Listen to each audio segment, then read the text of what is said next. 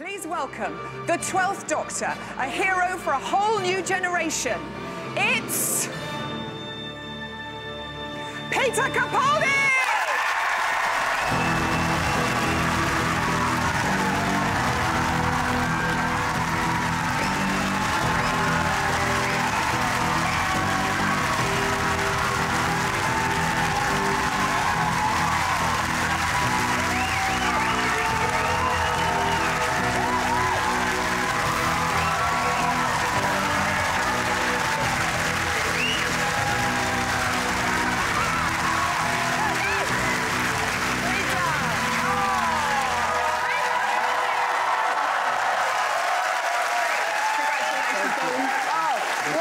Join us, join us.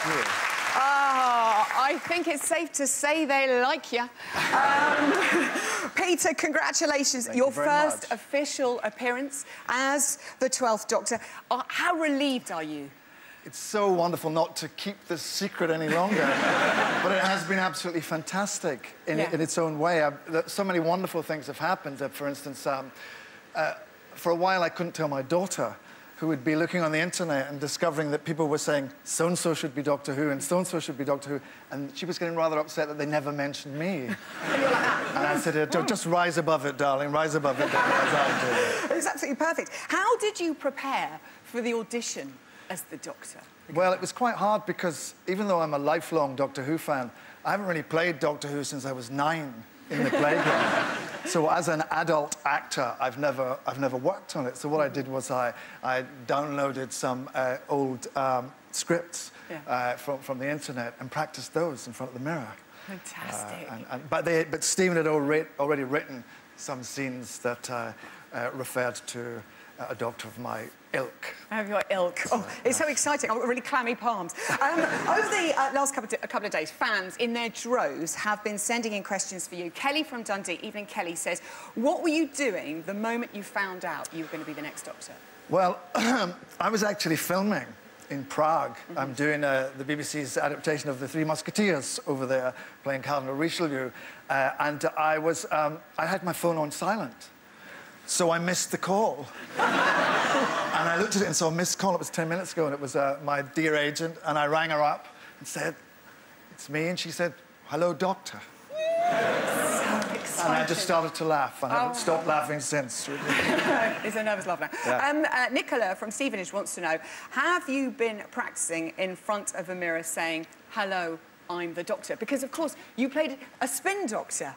Uh, the iconic Malcolm Tucker, a slightly different Doctor to uh, this Yes. Doctor you're going to be playing. Yes, well, I think Malcolm's been banished from the, from the mirror by this new doctor uh, who certainly would not put up with any of Malcolm's language or attitudes uh, uh, to, to the world. Um, I didn't really... Pra- I don't say I'm the doctor. I, I'm surprised now to see Doctor Who looking back. That's what's really strange. You look in the mirror and suddenly, strangely, he's looking back and, and he's not me yet. We- he, but he's reaching out and hopefully we'll, we'll get it together. It is so exciting. I know, because it's still such early days. I mean, you've been in Doctor Who Yeah. already. You're in the fires of Pompeii.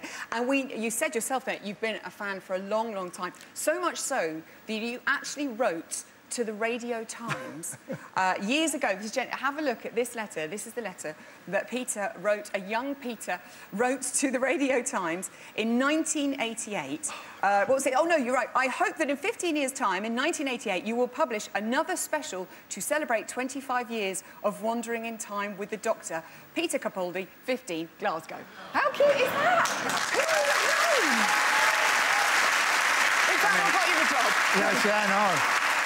I mean, I've, I've, I've hidden that from my wife for about 25 years. It's, and it's the full geek, isn't it? It's the full anorak. You know, you're never going to get a girlfriend with a letter When like that. it is that. Well, it just sort of seems now here then, in the 50th year of the show, here you are, sitting on the hot seat. I mean, do you have a message for all the Doctor Who fans who are watching? Well, I think Doctor Who's an extraordinary show, and, and the thing that strikes me about it that it's still here after all this time. And the reason that I think that it's still here is because of the work of all the, the, the writers and the directors and the producers who've worked on the show, the, the work of all um, the actors, and I don't just mean the fabulous actors who've played the Doctor, but also those actors who've sweated inside rubber monster costumes and those who had to wear futuristic Lurex catsuits.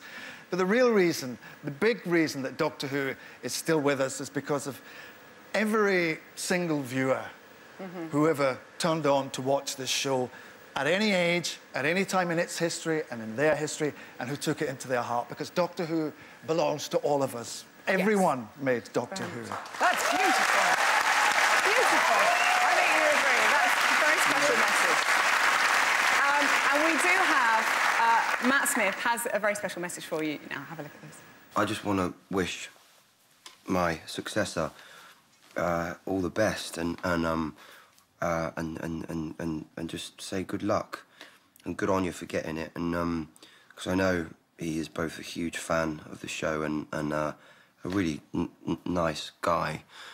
And I think it, the casting of it made me really excited, um, genuinely. And, and as a fan, I think it's a, a really canny choice. I think he'll be a hit. So good luck, man. It's going to be a thrill. So that is it, Peter. A huge thank you to all our guests uh, and to Matt Smith. You can catch him on the Doctor Who prom on the 26th of August. That's Bank Holiday Monday. So let's hear it for the newest incarnation of the galaxy's number one hero. He's the 12th Doctor, and the whole of time and space awaits. Huge applause, please, for Peter Capaldi.